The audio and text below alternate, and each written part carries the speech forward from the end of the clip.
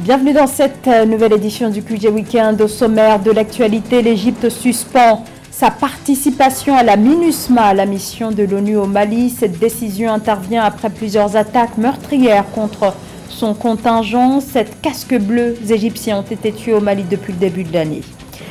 La fin de la visite officielle au Kenya et des discussions bilatérales entre le président de la Guinée-Bissau, Umaro Sissoko Mbalo, et son homologue Kenyan Uhuru Kenyatta. Les deux dirigeants indiquent vouloir œuvrer en faveur de l'intégration continentale. Nous ferons le point dans ce journal. Le Bénin bénéficie d'un appui financier du Fonds monétaire international, montant de l'enveloppe 638 millions de dollars destinés à aider le gouvernement à faire face aux besoins de financement urgents. Mais d'abord, des groupes militaires tchadiens suspendent leur participation au pré-dialogue de Doha au Qatar, ouvert à une cinquantaine de groupes armés, décision actée ce samedi. Ces groupes accusent la délégation gouvernementale de manœuvres de déstabilisation entretenues au sein des différents groupes. Fin de citation. Ces groupes dénoncent même des intimidations et des menaces. Pour rappel, ces discussions qui se tiennent au Qatar depuis le 13 mars dernier doivent aboutir à un dialogue national inclusif sur la question euh, de la mise en place au Tchad de nouvelles institutions. Puis cette confusion en Guinée autour de cette décision des militaires au pouvoir qui, dans un décret lu ce samedi à la télévision nationale par le président de la transition, le colonel Mamadi Doumbouya, notamment euh, nomme euh, Bernard euh, Goumou, jusqu'à présent ministre du Commerce au poste de Premier ministre par intérim, des fonctions toujours officiellement occupées par Mohamed Beavogui qui serait en déplacement en Europe. Les raisons de cette arrivée de Bernard Goumou à la primature n'ont pas été données par la junte. L'Égypte va suspendre sa participation à la mission des Nations Unies au Mali, raison invoquée par le Caire, la multiplication des attaques contre ces casques bleus. Cet arrêt temporaire devrait intervenir à partir du 15 août et il a été euh, annoncé au lendemain de la décision de la junte malienne de suspendre toutes les rotations des contingents militaires et policiers de la MINUSMA. Philomentine. L'Égypte ne fera plus partie de la liste de pays dont leurs contingents militaires et policiers opèrent au Mali dans le cadre de la mission multidimensionnelle intégrée des Nations Unies pour la stabilisation au Mali, MINUSMA. Le pays a décidé de suspendre temporairement l'activité de ses casques bleus au sein de la MINUSMA à compter du 15 août 2022 pour une durée indéterminée. La décision de l'Égypte de, se retirer temporairement des forces euh, des Nations Unies euh, la Correspond d'abord à ces attaques euh, contre ces soldats. la force de la MINUSMA est une force défensive, elle n'est pas une force qui a l'autorisation d'attaquer et d'éliminer. et je pense que ça c'est aussi une faiblesse structurelle liée à cette présence. L'Égypte a exprimé en début de semaine son inquiétude face à la multiplication des attaques contre ses casques bleus au Mali. Sur ces 1035 militaires déployés au Mali, sept casques bleus égyptiens auraient perdu la vie sur le territoire malien depuis le début de l'année. Le fait de, suspendre euh, les rotations des contingents militaires euh, montre aussi que le pays veut exercer sa souveraineté et c'est tout à fait normal d'une certaine manière. Mais je pense que les tensions euh, avec la France, ensuite avec les Nations Unies, la Côte d'Ivoire, tout cela va profiter au djihadisme. C'est pas bon du tout par rapport à la stabilité du Mali. Cette décision égyptienne intervient dans un contexte très tendu entre le Mali et la mission onusienne. Le pays a annoncé sa décision de suspendre toutes les rotations des contingents militaires et policiers de la MINUSMA sur son territoire en raison de contexte de sécurité nationale. Le Mali a sollicité auprès de la MINUSMA une clarification sur ses liens avec les 49 militaires ivoiriens arrêtés récemment à leur atterrissage à Bamako, la capitale. Fin de la visite au Kenya du président bissau-guinéen Umaro Sissoko Mbalo, une visite d'État qui a duré trois jours, au terme de laquelle, euh, avec euh, le chef de l'État kenyan Uhuru Kenyatta, ils ont convenu de renforcer la collaboration dans le domaine de la formation technique, dans les secteurs aussi du commerce et de la sécurité. Le point avec Corinne Kamseone. Trois accords de coopération, dont un qui met en place une commission mixte de coopération. Tel est le bilan de la rencontre entre les présidents Omaro Sissoko Mbalo de la Guinée-Bissau et Uhuru Kenyatta du Kenya. Ces accords signés à l'occasion de la visite du président Mbalo à Nairobi s'inscrivent dans le cadre de la coopération sud-sud au service de la croissance dans une optique gagnant-gagnant selon le président kenyan. L'entrée en vigueur de la zone de libre-échange continentale africaine offre des opportunités inexploitées de collaboration pour intensifier le commerce et les investissements entre nos deux pays pour augmenter la production et bénéficier des marchés régionaux élargis. Parce que nous ne sommes pas des concurrents, nous devons nous compléter, nous devons nous renforcer mutuellement. Le président Mbalo a, dans le cadre de son échange avec son homologue kenyan, particulièrement mis en avant les domaines tels que le tourisme, l'agriculture, la pêche, des secteurs stratégiques pour le développement de la Guinée-Bissau qui se prépare à de profondes transformations.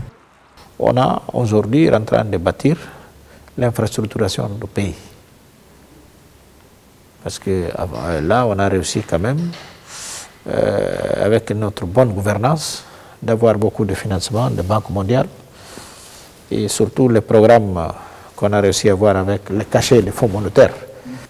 Donc aujourd'hui, nous sommes dans la bonne voie.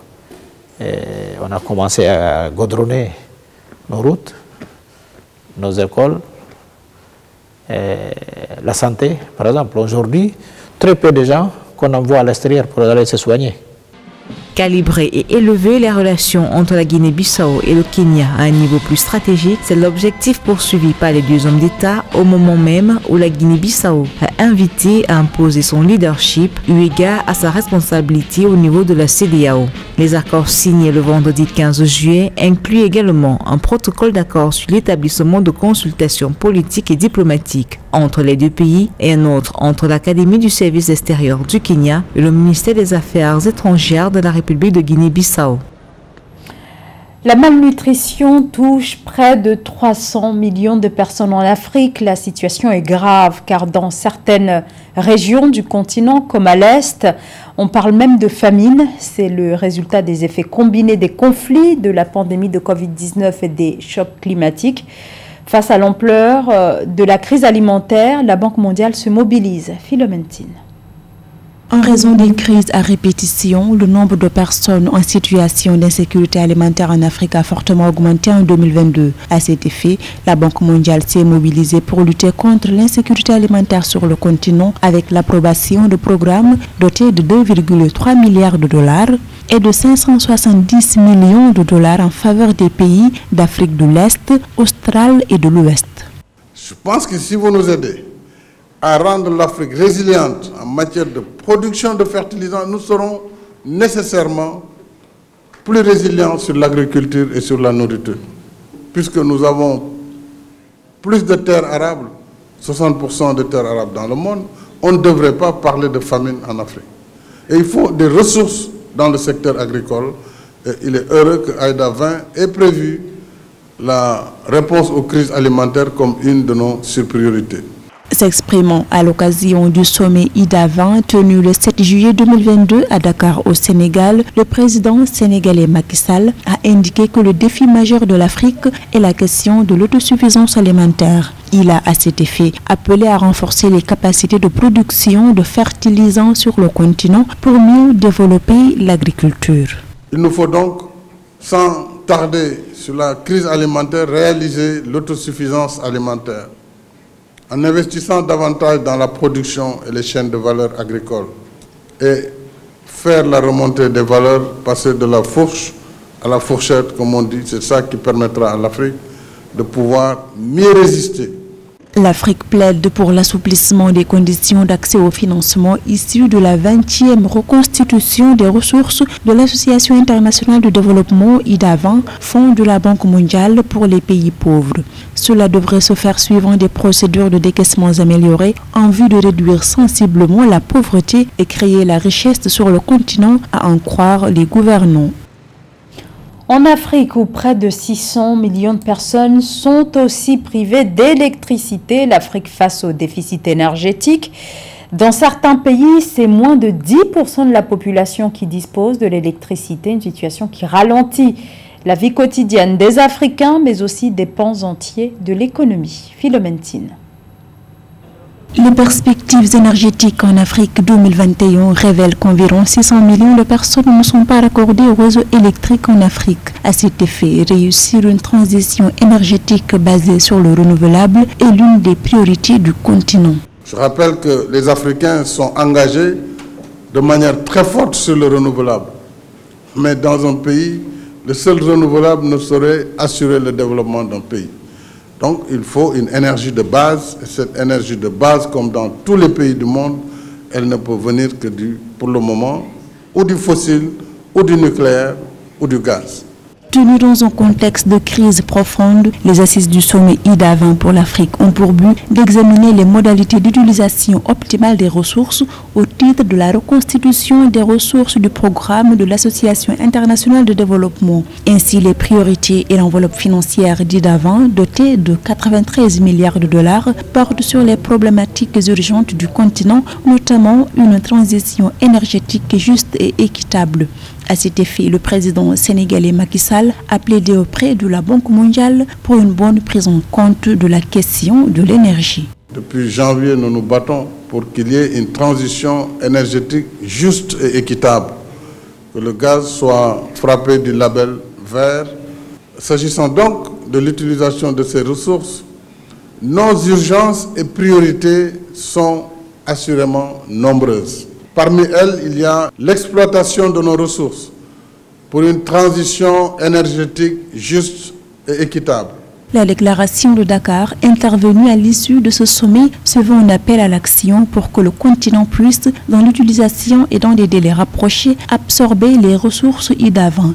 Rappelons qu'un montant d'environ 60 milliards de dollars non encore optimisé a été mobilisé en faveur des pays africains lors des reconstitutions intérieures des ressources de l'IDA. Le conseil d'administration du Fonds monétaire international approuve en faveur du Bénin un montant de 638 millions de dollars au titre du mécanisme élargi de crédit et de la facilité élargie de crédit. Un appui euh, censé euh, permettre au gouvernement béninois de faire face aux besoins urgents de financement, notamment le plan national de développement. Nathalie Fort de ses acquis en matière de responsabilité budgétaire, le Bénin a signé un accord inédit de 42 mois d'un montant de 638 millions de dollars au titre du mécanisme élargi de crédit et de la facilité élargie de crédit du Fonds monétaire international. Une enveloppe destinée à soutenir le plan national de développement 2018-2025 ainsi qu'à accélérer la riposte du Bénin face aux défis économiques et sécuritaires résultant de récentes attaques terroristes dans le nord du pays. Le nouveau programme intervient à point nommé. En effet, il va permettre au Bénin de faire face aux besoins de financement urgents, notamment liés aux effets persistants de la pandémie de la COVID-19, la cherté de la vie due à la guerre en cours en Ukraine et les risques sécuritaires à caractère régional. L'accord signé le 8 juillet 2022 a permis au Bénin d'accéder à un décaissement immédiat d'environ 143 millions de dollars de droits de tirage spéciaux. Le financement à taux presque nul va permettre la soutenabilité de la dette du pays tout en améliorant la mobilisation des recettes fiscales nécessaires à la réalisation des projets de l'État dès 2023.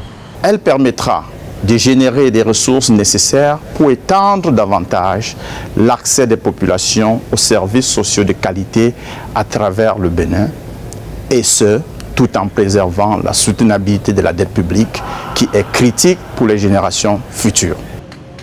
Le gouvernement béninois a souscrit à un nouveau programme soutenu par le FMI. L'institution financière va accompagner le pays dans son ambition d'amélioration de l'état de droit et de la gouvernance pour une croissance soutenue et inclusive tirée par le secteur privé, conjuguée à la rationalisation des dépenses publiques. C'est la fin de ce journal. Merci à vous de nous avoir suivis. Dans un instant, une nouvelle édition de l'actualité sur Africa 24.